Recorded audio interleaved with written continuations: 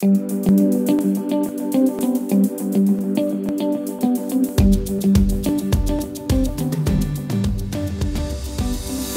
now, India is the fourth largest economy.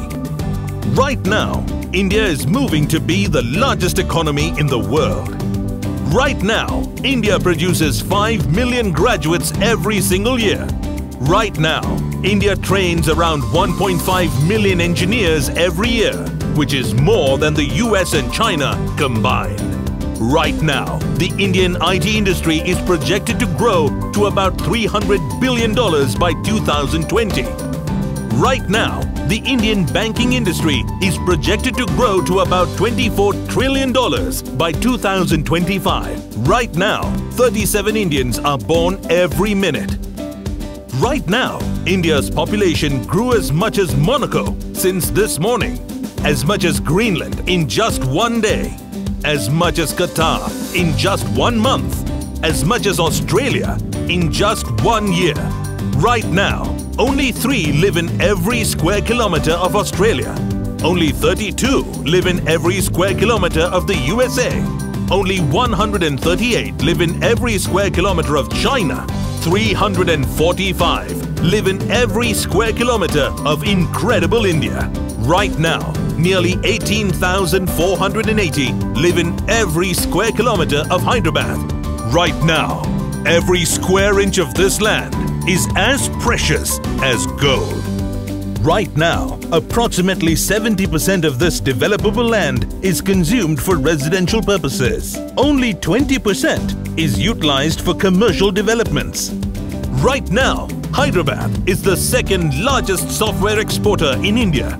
Right now, Hyderabad houses the world's renowned IT ITES companies. Right now, the IT ITES exports in Hyderabad is projected to grow to $50 billion by 2020. Right now, Hyderabad is amongst the 100 fastest growing urban cities in the world.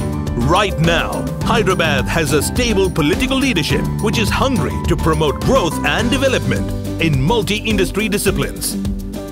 Right now, the country's biggest technology incubation center is coming up in Hyderabad for an investment of 300 crore rupees.